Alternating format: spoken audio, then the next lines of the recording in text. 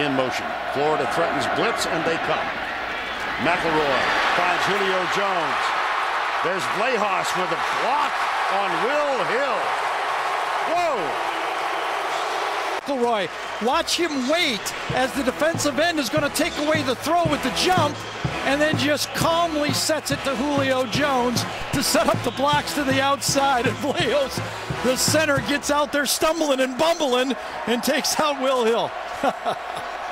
well, his nickname laid waste then. Here's McElroy. Settles for a short receiver.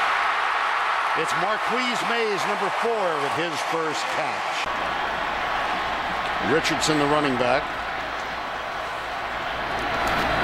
And he'll get the handoff.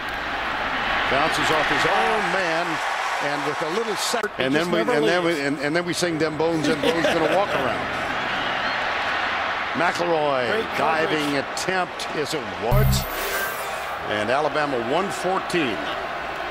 McElroy underneath the Darius Hanks. Smith Play fake, McElroy. Uh, incomplete. Got to catch that. Yeah, Julio Jones should have had it. Pretty good numbers. I'd say.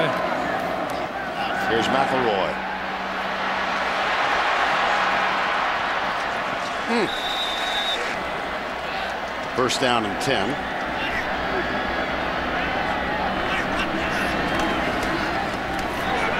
Left side, Julio Jones. He's got Carpenter out in front. That was very 1,000 in the newly expanded stadium. Here's Julio Jones in motion. Richardson is the deep back. This is his 10th carry of the night, and uh, he's not going to go down easily.